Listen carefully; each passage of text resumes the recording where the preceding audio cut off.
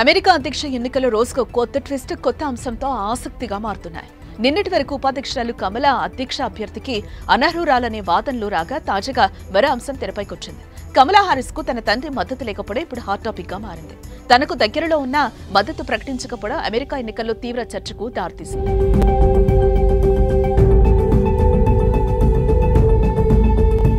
మరికొన్ని రోజుల్లో జరగనున్న అమెరికా అధ్యక్ష ఎన్నికల్లో హోరాహోరీ పోరు సాగనుంది.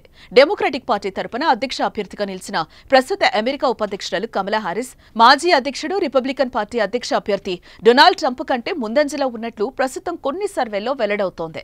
ఇప్పటి వరకు డొనాల్డ్ ట్రంప్ ముందంజలో ఉండగా రేస్లోకి కమలా హారిస్ వచ్చిన తర్వాత పరిస్థితులు మారిపోయాయి.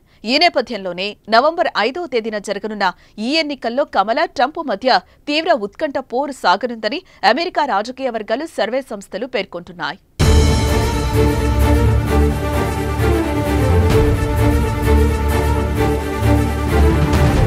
కమలా హారిస్కు తన తండ్రి డొనాల్డ్ జెహారిస్తో సంబంధాలు అంతంత మాత్రంగానే ఉన్నాయనే వార్తలు ఇప్పుడు అమెరికా రాజకీయాల్లో చర్చకు దారితీశాయి. వైట్ హౌస్కు సమీపంలోనే డొనాల్డ్ హారిస్ ఉంటున్నా ఆయన ఎన్నడూ తన కుమార్తెను కలవకపోవడం గమనార్హం. ఇక అమెరికా అధ్యక్ష పనిలో ఉన్న కమలా హారిస్ తరచూ తన తల్లిదండ్రుల గురించి ప్రస్తావిస్తూ ఉంటారు. ఏ విషయంలోనైనా భయపడకుండా ముందుకు వెళ్ళాలని తన తండ్రి చెప్పేవాడని ఇటీవల షికాగో డిఎన్సీ ప్రసంగంలో కమలా హారిస్ వెల్లడించారు. అయితే కమలా హారిస్ ప్రత్యర్థులు మరీ ముఖ్యంగా డొనాల్డ్ ట్రంప్ లాంటి వారు మార్కిస్ట్ అయినా ఆమె తండ్రి నుంచే కమలా హారిస్ కమ్యూనిజాన్ని తన వంట పట్టించుకుందని తీవ్ర విమర్శలు కూడా చేస్తూ ఉంటారు.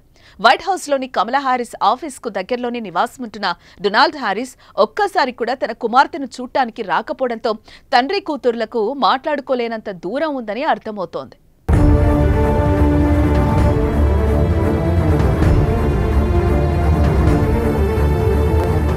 పంతొమ్మిది వందల ముప్పై ఎనిమిదిలో జమైకాలోని బ్రౌన్స్ టౌన్లో కమలా హారిస్ తండ్రి డొనాల్డ్ జే హారిస్ పుట్టారు. ఆ తర్వాత లండన్కు వెళ్ళి చదువుకున్న ఆయన అనంతరం కాలిఫోర్నియాకు వచ్చి పీహెచ్డీ పూర్తి చేశారు. పంతొమ్మిది వందల అరవై రెండులో బెర్క్లీలో భారత్ నుంచి వెళ్ళి క్యాన్సర్ పై పరిశోధనలు చేస్తున్న కమలా హారిస్ తల్లి శ్యామలా గోపాలన్ను తొలిసారి ఆయన కలిశారు. ఈ క్రమంలోనే వారిద్దరూ ప్రేమించుకొని పెళ్ళి చేసుకోగా వారికి ఇద్దరు సంతానం పుట్టారు. పెద్ద కుమార్తె కమలా హారిస్ కాగా రెండో కుమార్తె మాయా హారిస్.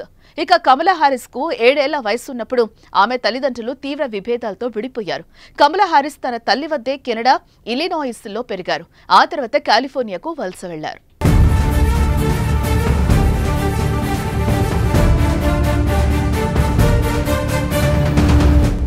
డొనాల్డ్ హారిస్ పంతొమ్మిది వందల డెబ్బై రెండులో స్టాన్ఫోర్డ్ యూనివర్సిటీలో ఎకనామిక్స్ ప్రొఫెసర్గా పనిచేశారు. అయితే ఆయనకు మార్కిస్ట్ ఎకనామిస్ట్గా పేరుండేది.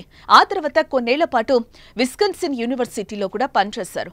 ఆ తర్వాత పంతొమ్మిది వందల తొంభై ఎనిమిదిలో టీచింగ్ నుంచి రిటైర్ అయ్యారు. అయితే రెండు వేల ఇరవైలో తన కుమార్తె కమలా హారిస్ అమెరికా ఉపాధ్యక్షురాలు అయినప్పటికీ డొనాల్డ్ హారిస్ నుంచి ఎలాంటి స్పందన రాలేదు. ఇక తన కుమార్తె ప్రస్తావనను కూడా ఆయన ఎక్కడా తీసుకురారు. ఇక రెండు వేల తొమ్మిదిలో కమలా హారిస్ తల్లి శ్యామలా గోపాలన్ పేగు క్యాన్సర్తో చనిపోయారు. కమలా హారిస్ కుటుంబం నుంచి పలువురు ఆమెకు మద్దతుగా ప్రచారం చేస్తున్నారు.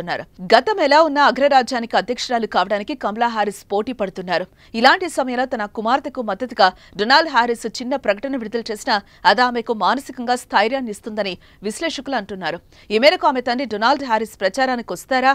రారా అంటూ పెద్ద ఎత్తున చర్చ జరుగుతోంది.